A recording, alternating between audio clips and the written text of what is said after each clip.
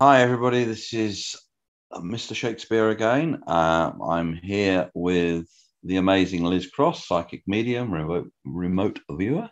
Uh, how, how are you doing, Liz? How's everything over there? Yeah, we're doing great. Thanks. I'm doing very well. Amazing. Again, another stretch word, but thank you. well, I have to. We have to come up with new introductions that are just so different to the one we yeah. did. It, yeah. It's so funny to me because when I do readings, I'll get people and they're so excited to talk to me. I mean, of course, they're waiting a couple of months because the queue is so long, but uh, they're like, Liz, oh my God, you're the person I hear on the YouTube. And I, I'm like, you, I am. it just doesn't, you know, I don't even think about it. So it's funny because I'm just like, people listen to me. That's weird. Mm. anyway, who do we have here? This is Benjamin Fulford. Never heard of him. Okay. Um, Canadian by birth, journalist by trade. Uh, he came to fame years ago because he interviewed David Rockefeller. Oh. He's now lives in Japan, speaks fluent Japanese, um, and has interviewed and has good connections on a global basis for quite some years. Mm-hmm. So, Great. So uh, this will be a shortish video because we just want to know what's going on now, and then we'll push him forward a few months as usual, and uh, just to see what's going on. So, have you got a good connection with him? I do. Okay. How's he doing at the moment? What's he up to? Um, What are you up to? I feel like he's writing a book. Okay. Is it about current events or? Is it about current events? I do feel like it's about current events. I feel like he's going to group a, a load of people to, you know, together to to make a, a philosophical book. Right. Is he still in Japan? I feel like he travels a lot. Mm-hmm. Okay. Um, how is Japan doing at the moment? How's Japan doing at the moment? I feel like the economy is pretty bad there as well, um, which is surprising because normally Japan can weather the storm. They don't have the same hits that we have, right?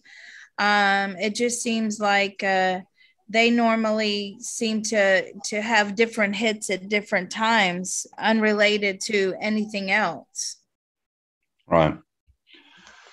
Okay. Um what has been the effect of the fed raising the interest rates on um how's japan japanese and companies and people coped with that? Has it affected them? Has it affected them? Yes it has. Right. Okay. Not for um, the better. No. Can we moving forward now to January first week of January, end of the first week of January 2023? Okay, so January 7th, January 7th, 2023, 8 p.m. Eastern Eastern Standard Time. Okay.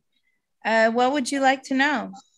What was the highlights of the last two months um, of the of 2022? What were the highlights that that happened that that he that he took note of? What were the highlights that happened in 2022, the last two months that you took note of? He immediately says war to me. Um, and what what about it? I feel like it may be over or it's coming cl- to a close. Okay. Has there been any other war in the Asian Asia region? You know, the uh, Pacific Ocean region, that sort of thing. China, Taiwan, Philippines, anything that he knows that's happened. Has there been any major white bombings or incidents that in the Asian region? No. no. Okay. How's the economy doing in Japan? How's the economy doing in Japan? It's recovering, but slowly. Okay. Um, what's happened to cryptocurrencies? What's happened to cryptocurrencies? He says, I don't care about cryptos anymore. Okay. When did he stop caring? When did you stop caring? In 2022. Why? And why and when? Why did you stop? Because he thinks they're a scam. Um, and when in 2022? I feel like just uh, in the fall. Okay. Was that after a big crash? Was that after a big crash? Uh, he just felt another big crash was coming and he wanted to get out. Okay. Where does he uh, where does he suggest people invest their funds, their money? If cryptos, you know, the average guy in the street that doesn't necessarily trust the banking system, but you know, might have been in cryptos. I mean, what what what, what would he suggest? What what, what would invest their money? Property. Okay, and real estate, yeah. Mm-hmm. Uh, anything else? What about gold? What about gold? No, he doesn't trust gold. What about silver? What about silver?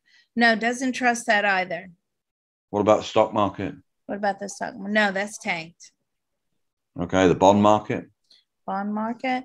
Yes, if you want small returns. Okay. Uh, is there anything worth investing in apart from property, or is it just property recommended? That's a good question. Is there anything worth in his personal mind, thought, feeling, opinion? No, property is the best way. Right. Okay. Um, what does he see the outlook uh, for for 2023 globally? Is there anything of note that he because he's quite a connected person, so he you know he has lots of information and contacts. What does he see? For 2023, bleak. Bleak. Mm-hmm. Okay. Is there any problem with food shortages? With food shortages, not where he is. Right. Is he aware of food shortages anywhere else, like the European Union, like America? Yes, he says, I'm aware of the cost of food, but he doesn't really uh, pay much attention to the food shortage issue. But the cost of food is what he's focused on. Right. Um, so it must be significantly higher than it is at, say, July 2022 significantly higher than July 2022. Yes, it does tend to go up a bit more. Okay. How's oil doing? How's oil doing? Down the pan. really? Yeah. Everybody's scrambling for oil. And no one wants to sell it or no one wants to use their reserves? What, what's the problem with oil, does he think? the reserves. Nobody wants to use their reserves. They don't want to tap into that. Right. How's the oil price? Is it holding up or is it tanked? Has the oil price held up or has it tanked? It's uh, held up. Okay. Okay, what advice would he give anybody in July 2022 to prepare? I mean, what, what what advice could he give? You know, what would he say to people to prepare for the oncoming problems? What what advice would you give to prepare for the? He says, "Get out while you can." Get um, out of um, what though? Get out of what? Out of what? Cryptos. Okay. Is that the only advice? What about if somebody isn't in cryptos? stock market. Get out of the stock market. Hold your cash. Oh, okay. So this is a cash thing again. Hmm. is he an advocate of holding cash then? Are you an advocate of holding cash? He goes, I am now. okay. Um, right. Okay. I know we've been doing this a while today, so I'm going to hold that one there. Uh, you can drop him and uh, that'll be all for today. Great. Well, thank you so much. And again, uh, find us on the Patreon forward slash remote viewing and beyond. Mr. Shakespeare has his own little category on the Discord. And uh, again, my reading site is down. It's under construction at the moment. It will be up soon, hopefully. And the new website is going to be psychiclizcross.com. I will put out an announcement when it is up and running. So I'm sorry about that, but don't worry. Nobody else is joining the queue, and the queue, I believe, at the moment is still out into October. So uh, it doesn't matter if you're not able to book right now because the queue hasn't changed. Thank you so much, everyone.